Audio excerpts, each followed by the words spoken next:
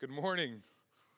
Main Street, so glad you joined us again this morning. Uh, we are uh, continuing our series in the You Asked For It series, and we've been dealing with the number one question that's been asked uh, for this summer series. And, and what does the Bible teach about race? And, and we talked about that last week, and this week, what does the Bible teach about racism? Well, last week we dealt with the issue of race, and, and I gave you a quick theology about race and encourage you to go watch that uh, talk if you haven't had a chance to listen to it or watch it. And I gave you some uh, clarity on what God says about the human race. And we learned last week that God has created everybody. He made everything, He made everyone. He made you. And not only did He make you, but He made you in His image. All humans are made in the image of God. And, uh, and this sets us apart from the rest of all of creation because being made in His image means that we were made to have a relationship with the God of the universe through His Son, Jesus Christ. It's quite amazing when you think about it. And not only did He make you, and not only did He make you in His image, but it also we understand that He made you with incredible value, that you are distinct uh, and unique in your in, in who you are. God, God made you. You're the only you that He has ever made and ever will make. Um, and we also learned that when God made us in His image, um, that He He made the human race, and the human race came uh, from two people, Adam and Eve. Every shade of color that we see around us in the color of people's skin came from two people. And we talked about how that happened. But it came, and we came from two people, Adam and Eve. And God planned it that way. And it was God's perfect plan, not to create different races, but to bring diversity and beauty and color and culture through one race that we learned is called the human race. And just as Paul wrote in Romans chapter 12, verse 5, we said this last week. Let me remind you what he said. We're all part of one body, and we all belong to each other. And there should be no dividing walls amongst us, Paul says. And he reminds us again in Galatians chapter 3, he says that there is neither Jew or Greek, slave nor free, male nor female. If you, for you are all one in Christ Jesus. What an amazing message of hope and, and understanding of how God has created us. And then we learned, as we cl- closed off last week, we learned this one big principle. And the principle is this what you wear is more important than the color of your skin. Well, what do you mean by that, Shawn? Well, just quickly to remind you, we are told in Colossians and all throughout Scripture to clothe ourselves with who God is, His characteristics love and peace and patience and kindness and, and gentleness and all these things that God wants to develop in us. And so, we as followers of Christ, we don't look at the color of someone's skin, we see Jesus because we, we are identified by Christ. We clothe ourselves with all of his attributes and his characteristics. When you give your life to Jesus Christ and enter into a relationship with him, you put him on. You wear his clothes. You take on his identity. And when we understand, and, and when we understand this, but when we but we fail to live it, you know, we know these truths, and a lot of us do. You do. If you're a follower of Jesus, you probably, I know that, Shawn. I understand that. Yeah. But, but we, can, we can know it and not live it. And what I want to talk to you about this morning leads us down that pathway. When we, do, when we know something but don't live it, specifically that we are made by God in His image, uniquely and distinctly, and that we are to see other people that way, when we fail to live that truth, we embrace this great evil called racism.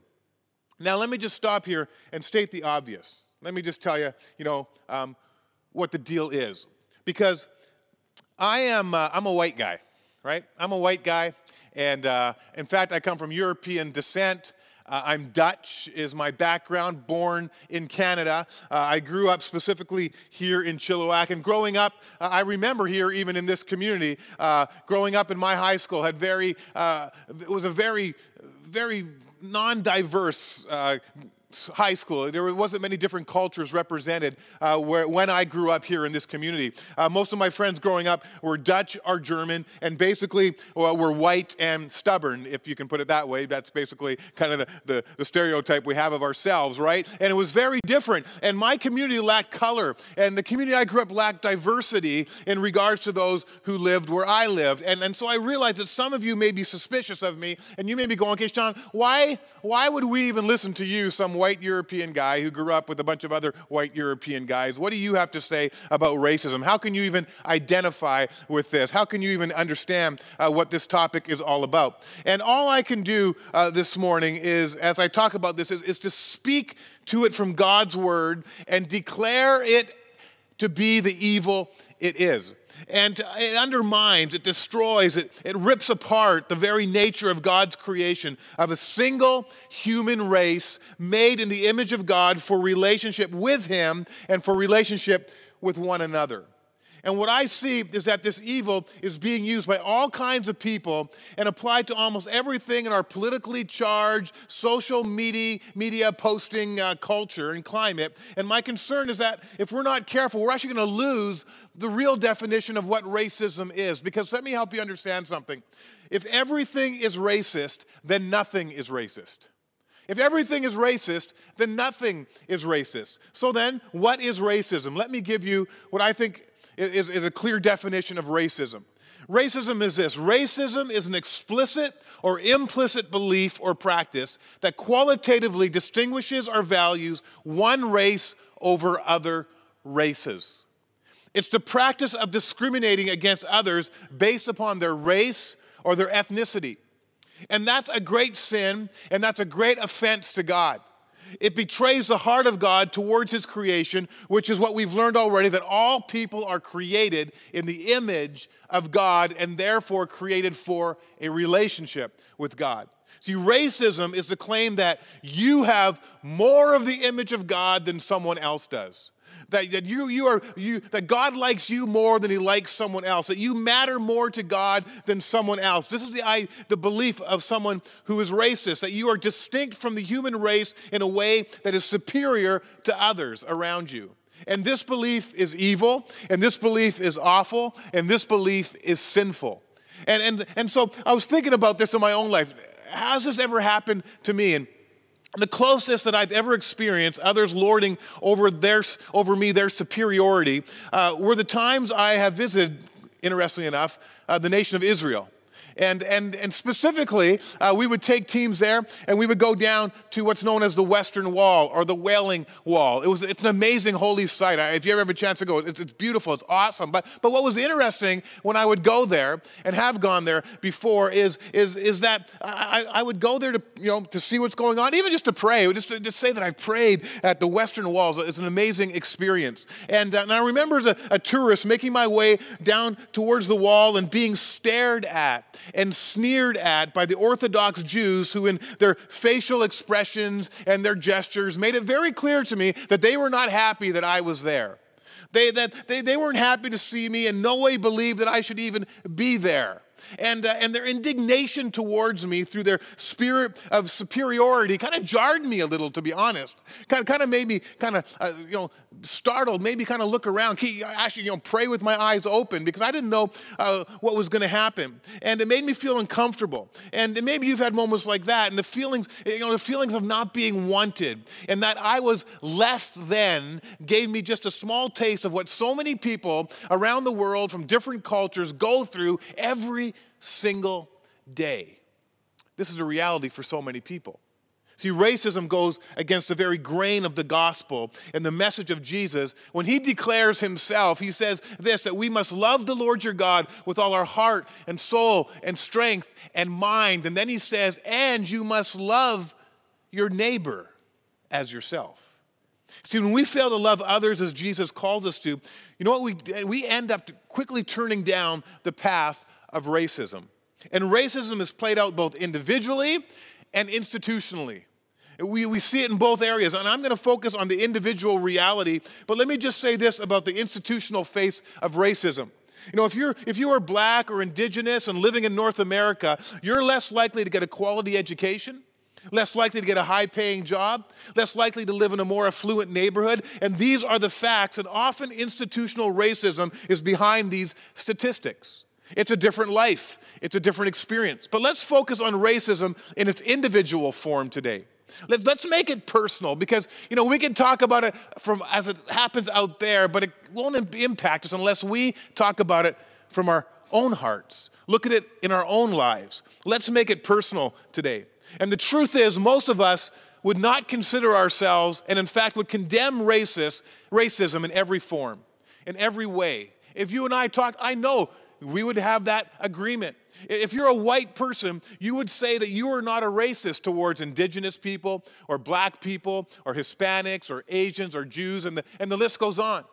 So you don't, you don't wear a white robe and you don't burn crosses on your front lawn, right? You, you think Hitler and the Holocaust, that was pure evil. You really, you readily condemn slavery and in any and every form. I mean, there's no way you would, you would agree that that's good. You don't believe in segregation. You would never identify with white supremacy and supremacy. And it goes without saying that you would never take up violence against someone simply because of the color of their skin. This is, this is what we, we would say, we would talk about this, we would agree on these things. Most of us would say, there is not a racist bone in my body. You would say it, and I say it. But let's get personal for a moment. The truth is, because what we do is we make racism an identity. We make racism as, as that person is a racist and we make it their identity. But racism isn't so much an identity as it is a bias, as it is a feeling, as it is an expression in our own hearts. And it surfaces in our feelings, and it surfaces in our reactions, and it surfaces in our choices. Racism rears its head in our lives through bias and acts in the shadows of our thoughts and the shadows of our behaviors, which is why we need to be intentional about bringing it into the light in each one of our lives.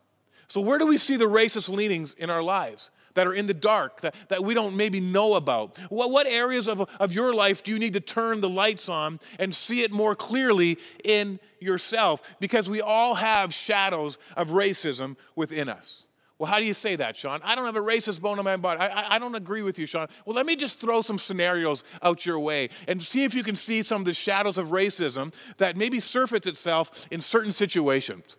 Let's talk about employment for a moment. Let's talk it this way. Let, let's say you're a business owner or an employer and you're looking to hire some people.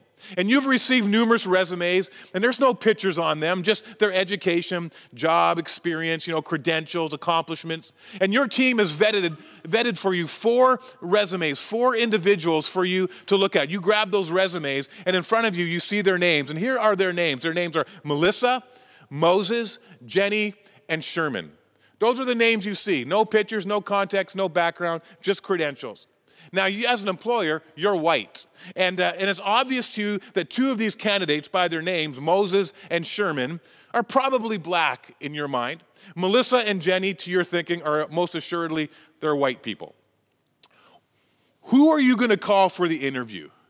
Who are the people that you lean towards specifically based on your assumptions of their name? Do you privately make an assessment of worth, value, capability, likability based on names, even though all these resumes are the same. See, depends where you go with that. That surfaces a shadow of racism in your heart. You may not have a racist bone or a racist heart, but you were being racist in that moment by the way you thought and perceived those names. By the way, all those names I mentioned, they attend Main Street Church. Two of them are black, one is indigenous, and the other is Asian, and they're all amazing people. Shadows of racism. What, what about this? Dating and marriage. Here's, here's an area that, that can surface some of the shadows of racism in our hearts. Um, you see a black man with a white woman on a date or even married. I mean, how do you feel about that? What do you think in that moment? Good or bad? Neutral or biased? Positive or negative? Where do you go in that moment in your heart and in your mind? I can tell you that I know people who are very uncomfortable with this. And, and, if you don't like or agree with a couple from different cultures dating or getting married, well, let me just say if that, if that troubles you, if that bothers you, I'm just going to call you out. You actually now have surfaced racism in your heart. Now, in God's eyes, listen, God's eyes, there is nothing wrong with interracial relationships or interracial marriages. In God's eyes, it's just two human beings that He created in His image for relationship with Him and for relationship with one another. And if you don't think that God blesses these relationships, just open your Bible. See what happened uh, in a story where a white guy married a black woman and uh, this marriage took place, and it was met with racism and it was met with prejudice, and God stepped in and gave his verdict. He was white, she was black. His family didn't like it, including his brother and his sister. They wanted him removed from leadership because of this decision, because of this relationship. Marrying a black woman was to their thinking wrong, it was bad, it was unnatural, and that they tried to lead a rebellion against this leader. Now you're thinking, who are you talking about, Shawn? And about who is this person? Well, he's a, kind of the star of the Old Testament in many ways. His name is Moses. Moses was the man. His wife was a Cushite, a, people known for their dark skin complexion. Today, we know the land of Cush to be associated with Ethiopia.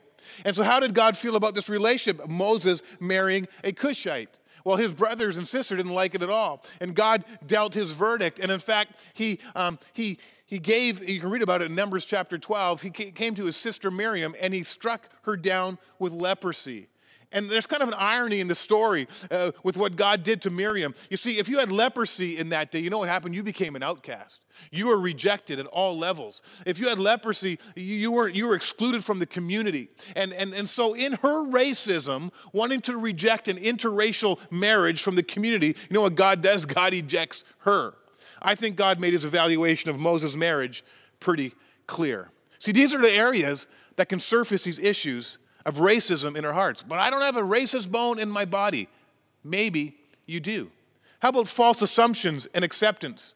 Maybe, maybe you read the story a while ago, just recently, of the white woman in San Francisco who called the police on a person of color who was stenciling a message in chalk on his own property. I don't know if you saw this on the news. The woman lied and said that, that she knew that, that he did not live there, and he called the police. This is my place. I can do what I want on my place. I know you don't live there. And she lied, and she calls the police and, and, and, uh, and, and, called, uh, and called out her, her racism was called out in that moment. Her racism was exposed that day simply because what? She made a false assumption a false assumption and pseudo acceptance. See, a lot of times we, oh, I accept that person, but we won't ever invite them into our realm. We won't ever invite them into our homes or never invite them into conversation.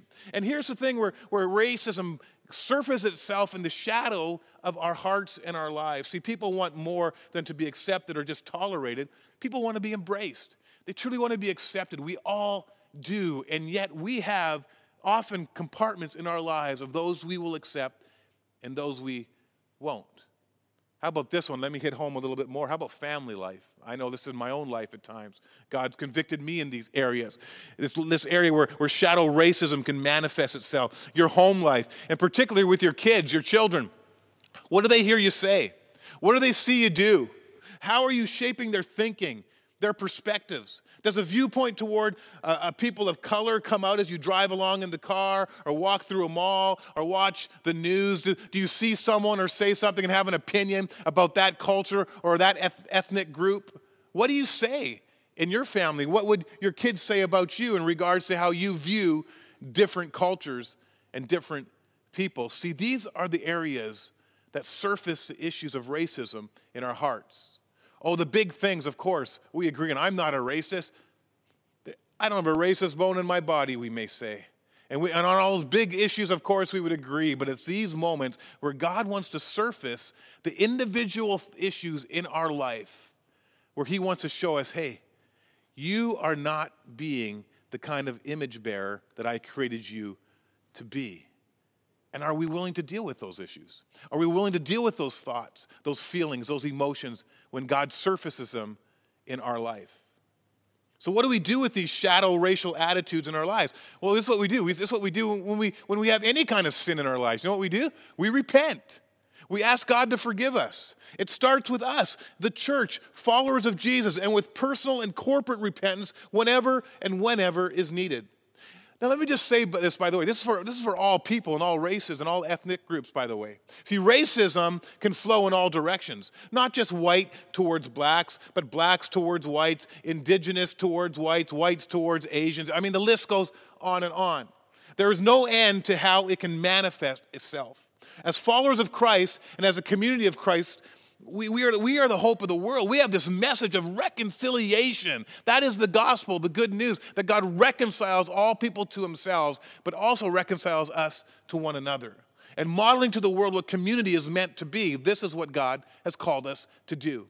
So when racism rears its head, blatantly or in the shadow form, turn from it, repent of it, ask for forgiveness, God, renew my mind, renew my spirit, make me a true image bearer of you. There's a promise in the Bible from God Himself. He gives it to King Solomon. It's a verse that if it takes root in your life, if it takes root in the church where it should, it could then break out into the world and really can make a change in our nation and in our world. Let me read it to you. It's going to be on the screen. Let me say it to you. It says this If my people who are called by my name will humble themselves and pray and seek my face and turn away from their wicked ways, will I hear from heaven and I will forgive their sin and what? I will heal their land. What a great truth. What a great promise. What a great invitation from God Himself for us to get on our knees and repent of those attitudes and feelings, those shadow forms of racism in our lives, and allow God to make us more and more like Him so that we can actually see the world and the people transformed around us with the love and peace of Jesus Christ. So let me just close with this. Let me give you five things we can do to be the kind of community that God calls us to be.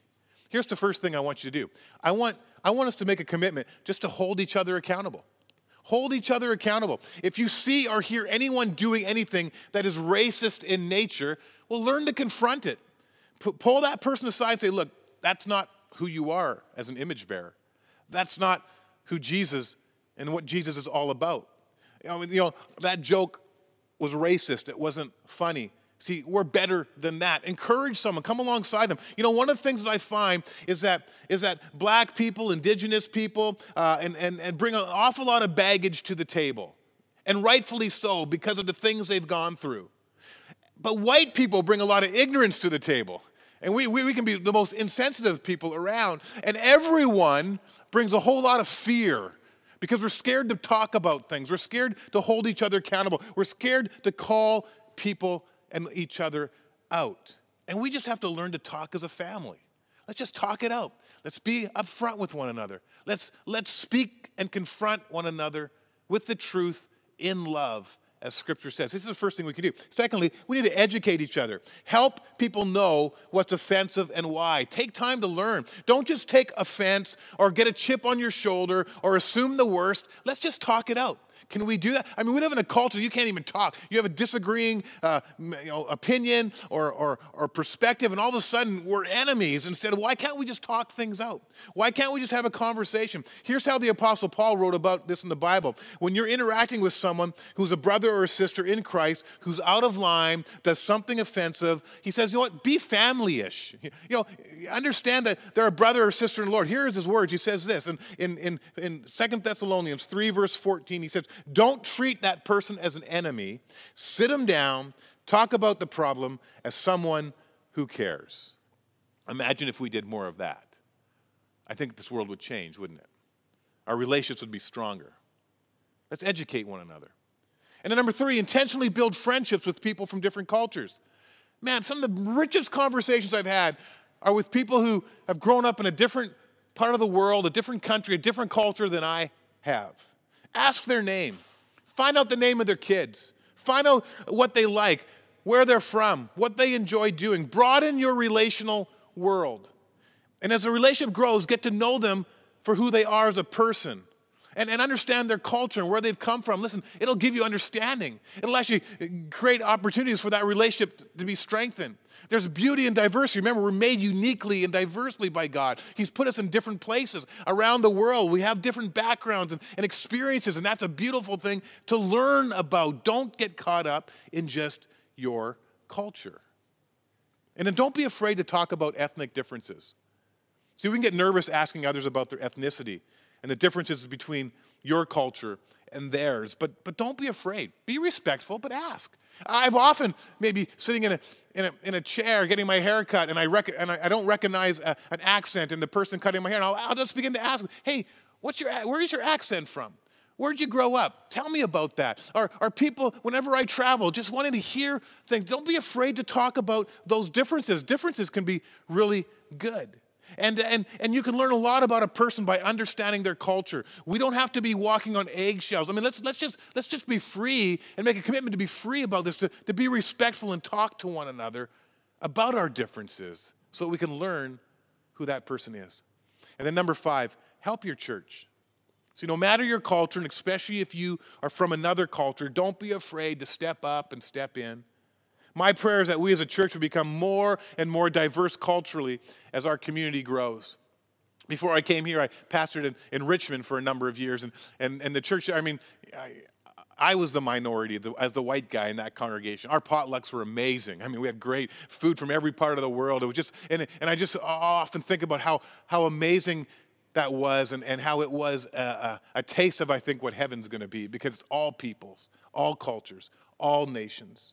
But I want you here at Main Street to be not be afraid to step up and step in. I, I want to see more and greater diversity on our stage on Sundays and, and in the ministries we do. And you may say, well, you don't really do the kind of music that I do. And I would say, well, that's because we don't have you on the team yet. Dean would love to hear some of your styles and musics and things that we can learn from another. And other parts, well, I have ideas about this or, or some outreach or whatever. Hey, let's hear it. Let's hear it. How can we reach more people with the good news, the reconciling message of the gospel of Jesus Christ. Let me close with this truth. You both, you, you know that, we both, we, we both know that oil and water don't mix, don't we?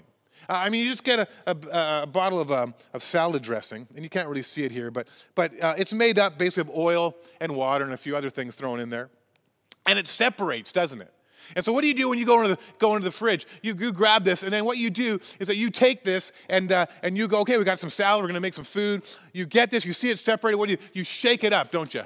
You, you, you, take, you take this, this oil and this water that's made up in, in, this, in this salad dressing, you shake it up and you pour it out and you use it. But, but you know, you, you get it going. You, you get these two two ingredients together, and what do you got to shake up? You know, this is kind of what the world does, doesn't it? We come together, we kind of shake things up. Let's try to make it happen. Let's try to get together. Let's try to be peaceful. And then what happens though? You you finish your food, or you finish that conversation, or you finish that moment, and you put it back down. And what happens? It segregates again, doesn't it? It separates again. After a while, oh, they were together for a bit, but, but after a few moments, or even in your own life, a few days, you may not even think about that person again. All of a sudden, everything just once again separates. That's salad dressing kind of life. That's the world that we live in. But what happens with salad dressing is very different than what happens with mayonnaise. Mayonnaise is the same thing. Mayonnaise is mostly composed of oil and water, but it doesn't have to be shaken. It doesn't have to be shaken. Why? Because it has in it an emulsifier. And what is the emulsifier? The emulsifier are eggs. And an emulsifier is what brings things together that otherwise would never come together. The eggs bring two ingredients that would not normally mix with one another. And the egg infiltrates both the, um, both the oil and water so that they become together as a solid substance. It's the same thing, but they're solid. And you put this thing away, it stays the same. They're still together. It's all there. It's one content. And this is what I want you to understand. This is what Jesus did when he died on the cross. This is what he accomplished when he went and gave his life to reconcile us to himself and to one another. The cross acts as an emulsifier that brings people together even those who would not normally come together, even those who would not naturally come together. This is the gospel. It breaks down the walls of differences and places us on equal ground, on level ground before the cross, before our Savior, Jesus Christ. And what Jesus accomplished on the cross is what deals with the evil of racism. The cross surfaces the shadows of racism in all of our hearts and in all of our lives. And it brings to the surface those areas and feelings and emotions and biases that push against the reconciling power of Jesus Christ and Him crucified. And I'm telling you, church, when we get this, He begins to deal with the, the personal racial biases in our lives that He begins to show us, oh, Shawn, Shawn, that's not me. That's not my image. I want to deal with that in your life. I want to, I want to be the emulsifier that, that would naturally pushes you away or maybe gives you a wrong opinion or causes you to think this about a person or someone else or a race or a culture. I want to, I want to get rid of that and I want to be the emulsifier that brings what maybe naturally wouldn't come together and bring it all together. Because that is the gospel message. It is the reconciling power of Jesus Christ on the cross, Him crucified and resurrected. And, church, if we get this message in our hearts and we make it personal and not just some kind of topic out there, and we don't just think of it from an institutional perspective, but we go, Where, Lord, in my life? Do you want to surface the shadows of racism where I have repelled rather than embraced? Where I have pushed away rather than allowed you to bring me together? God, would you break down those feelings in my life, those mindsets, those traditions, those things in my background that have caused me to believe lies as truths? And if we would all be willing to be honest and invite the Holy Spirit to begin to convict us of our racial biases, I'm telling you, we can be a force to be reckoned with in this world of the reconciling power of Jesus Christ, the gospel that is the good news. And so the challenge this morning, church, is for you it's not for the person beside you. It's not for the guy that you think is a racist down the road. It's not for the person or what you think people should be thinking. It's for you. It's for me. Holy Spirit, where do you want to heal me? Holy Spirit, where do I need to repent so that I can be an agent of the reconciling power of Jesus Christ that brings your love and truth into every relationship so that I can bring your grace together, even with those I disagree with, even with those maybe I don't like, even for whatever reasons. But God, break that down. Break that down in my heart. Break it down in your heart.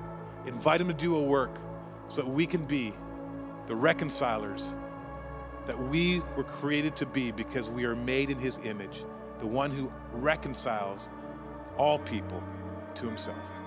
Lord Jesus, I pray this morning God, that we would be people who carry this emulsifying agent being the gospel, the good news. And Lord, we first want to be people that repent of our own racial biases and ask God that you would help us to be honest about those areas in our lives that segregate others from us rather than invite them. And Lord, that you would Help us to understand that you you died for that. And God, that we would walk in the fullness of all that you have for us. And then, Lord, that we would be agents of reconciliation in a world that is so divided, in a world that is so messed up, that we would be agents of reconciliation, just as you reconciled us to you. May we bring that message to the world around us. Help us, Lord. Deal with us, Lord and then fill us with your spirit so that we can truly be all that you've called us to be. In the powerful name of Jesus, I pray. And in every room around this city, country, and nation, everyone said, So be it. Amen and amen.